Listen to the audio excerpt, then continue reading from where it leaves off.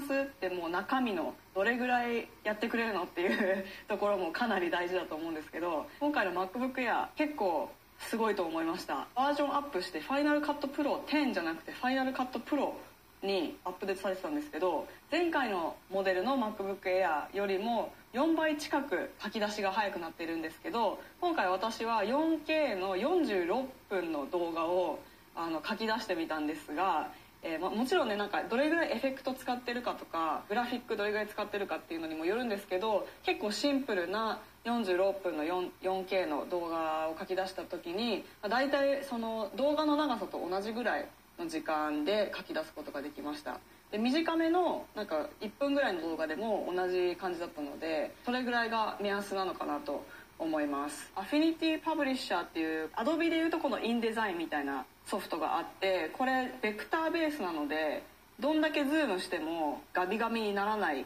やつなんですけどちょっとこのズーム見てください。このスムーズさ。そしてどんどんまだいけます。見て。ここまで来ました。